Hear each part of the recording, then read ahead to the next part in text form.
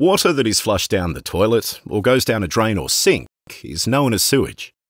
When we flush the toilet, wash our clothes, shower, or do the dishes, the sewage travels through a network of underground pipes called sewers to a sewage treatment plant. Sewage is processed at one of eight sewage treatment plants across the Central Coast, located at Gwandalan, Mannering Park, Charmhaven, Toukley, Tuggerah, Bateau Bay, Kincumber, and Woy Woy. The sewage treated at these plants comes from households as well as industrial and commercial customers like restaurants and factories. Approximately 99.9% of the sewage treated is water.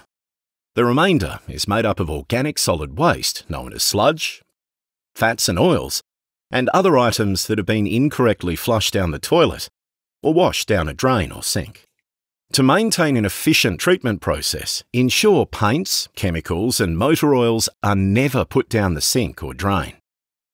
Dispose of these items through chemical cleanout events, or recycle motor oils and paints at community recycling centres free of charge.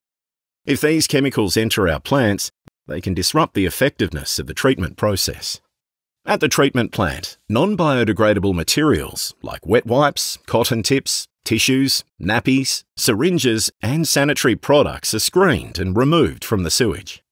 Smaller particles that are not large enough to be screened, such as sand and dirt, are removed in the grit chambers and separated out from the sludge based on their density.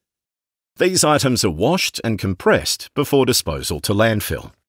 After the sewage is screened, it undergoes biological treatment through either the activated sludge or trickling filter process, depending on the treatment plant.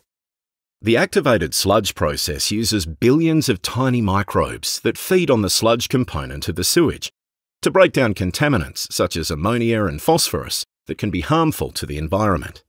These microbes need oxygen to survive, so air bubbles are added into the tanks by aerators or air blowers. The trickling filter process also uses the power of microbes. A rotating sprinkler system delivers the sewage to a bed of filter media that houses the microbes that remove any harmful contaminants.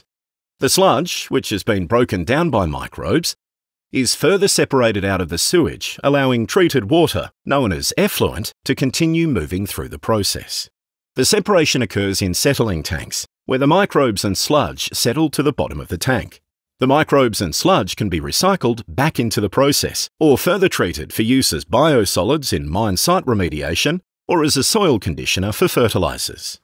The effluent can now be recycled at one of eight recycling plants, where it will be filtered and disinfected with chlorine and UV radiation.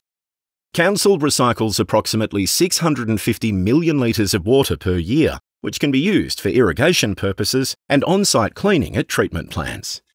Treated effluent not used for recycling must meet environmental standards governed by the New South Wales Environment Protection Authority before being discharged into the ocean, ensuring our beaches, lakes, and waterways remain healthy and safe for us all to enjoy.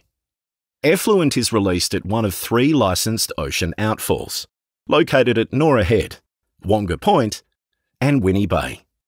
To help maintain the livability of our region and health of our waterways, it is important we all make smart water and sewer choices.